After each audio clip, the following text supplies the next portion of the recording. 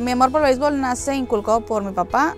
que mi papá siempre fue súper beisbolero y para él en mi casa era o ibas a dos equipos o no le ibas a ninguno. Eran Naranjeros y los Yankees de Nueva York. Y el que no le fuera a esos equipos estaba fuera. Mi papá fue el que nos enseñó el béisbol. Mi papá se sentaba con nosotros, nos explicaba las jugadas, nos explicaba quién estaba en cada posición, qué hacía cada posición.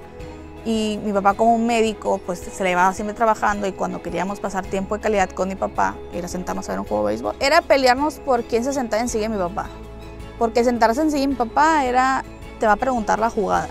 Y el por qué marcaron doble play, y el por qué marcaron el infield fly, y por qué, por qué se ponchó si la pelota se le cayó al catcher. Y tenías que estar súper atento al juego y esperando tu pregunta, o voltear a mi papá y al hijo que veía que no estaba poniendo atención en el juego ¿por qué pasó esto? Entonces siempre era ver el juego, disfrutarlo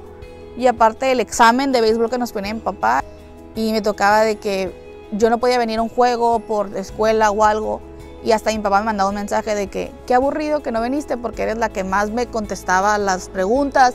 y, el, y para mí era, muy, era un orgullo que le preguntaban sus amigos, ¿a tus hijos les gusta el béisbol? Y que él dijera, tengo una hija mujer y que sabe más de béisbol que yo y que a veces que a ella me tiene que explicar, o ahora los jugadores nuevos de Naranjeros, que, que ahora me toca venir en otra faceta al estadio y yo sentarme encima de mi papá y decirle,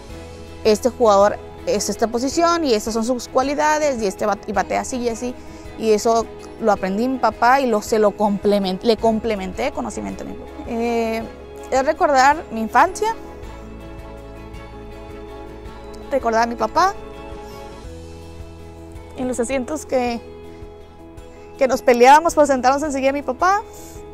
El mejor ambiente. Nos hicimos amigos de los de atrás, de los de enfrente. Era que no viniera alguien de la familia o no viniera en nuestros lugares y pasar, por ejemplo, por aquí que el vecino, están bien, ¿por qué no vinieron? O sea, era, y mi papá siempre nos dijo, en tercera, mi bonado siempre va a ser el lugar de tercera, aunque él se, fuera muy naranjero, porque es la afición metiéndose con el rival y la carrilla y las risas y, y es recordar, porque pues toda mi infancia, tanto en Electro Espino como aquí fue el lado tercera, y tantos y bonitos momentos porque era pasar tiempo con papá, con mis hermanos,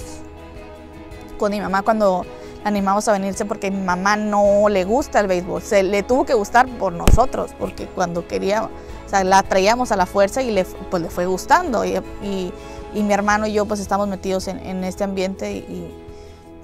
y estar y recordar el, la Diana naranjera eh, de chiquita que se ponía, me acuerdo en el Electro de Espino, la, naranja en el cachete que te la pintaban y, es, y es muy bonito y, y, uno no niega la, la cruz de su parroquia, como decimos.